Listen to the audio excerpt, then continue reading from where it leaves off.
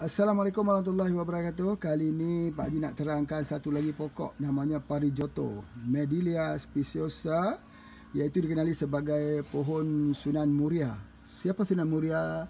Sunan Wali Songo yang termuda, anak pada Sunan Kalijaga di Gunung Muria dekat dengan Kudus.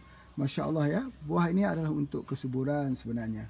Bagi masyarakat Jawa, mereka percaya mengambil buah yang sikit asam manis ini menyebabkan anak itu akan jadi rupawan, ya ganteng, jadi cerdik dan sebagainya.